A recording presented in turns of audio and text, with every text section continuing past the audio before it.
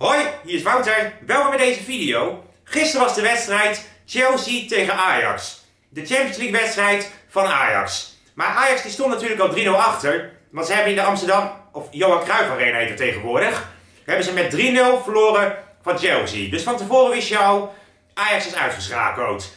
Maar ja, je moet nog eenmaal twee wedstrijden spelen. Dus uh, dat moet nu ook. En misschien was er ook nog wel een kansje. Misschien als Ajax de boel een beetje had omgeslagen en ze wonnen met 4-5-0 dat ze nog door waren gegaan. Maar ja, dat is niet gebeurd. Ik heb uh, de eerste helft niet gezien. Ik kwam pas binnen bij de tweede helft. En toen ging ik de wedstrijd even kijken. Nou, op dat moment stond Ajax al met 1-0 achter. En toen wist ik al... Ja, Wouter, Ajax is definitief uitgeschakeld. Maar nu staan ze in totaal met 4-0 achter. Moeten ze nog 5 doelpunten maken in de tweede helft. En dat zie ik Ajax niet doen. Dus ik dacht al van... Ze hebben verloren. Nou, toen werd het op een gegeven moment nog 1-1. Hartstikke leuk natuurlijk. Maar het was meer een beetje een goal voor de sfeer. En nog, nog een eregoal. Dat je niet helemaal uh, verloren van het veld af gaat. Dat je tenminste nog even één goal hebt. Dat is misschien wel fijn. Maar uiteindelijk, ja, wedstrijd afgelopen en Ajax uitgeschakeld. Dus het avontuur in de Champions League van Ajax is voorbij. En dat betekent dus ook dat een serie dat deze wedstrijden gaat spelen van de Champions League van Ajax, dat die gaan bespreken, dat ik dat dus ook niet meer ga doen. Want Ajax heeft geen Champions League wedstrijden meer.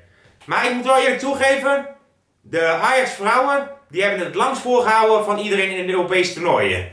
Want PSV bij de mannen, Ajax bij de mannen, Feyenoord bij de mannen, allemaal uitgeschakeld. Maar Ajax, de, de vrouwen van Ajax hebben het wel langs voorgehouden. Ja, helaas het toernooi niet gewonnen. En dan zou het natuurlijk veel leuker zijn als Feyenoord het toernooi wint, uiteraard. Maar ik ben in de Champions League altijd voor de Nederlandse clubs. Dus ik had stiekem wel een beetje gehoopt dat Ajax heel ver zou komen. Is het eigenlijk niet gebeurd. Chelsea was een maatje te groot.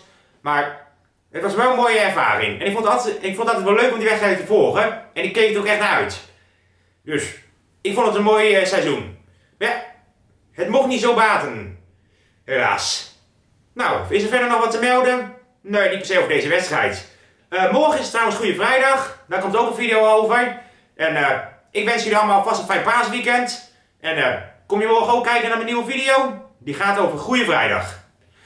Nou, ik bedank jullie voor het kijken naar deze video. En tot de volgende keer. Doei! Hier gaat Wouter.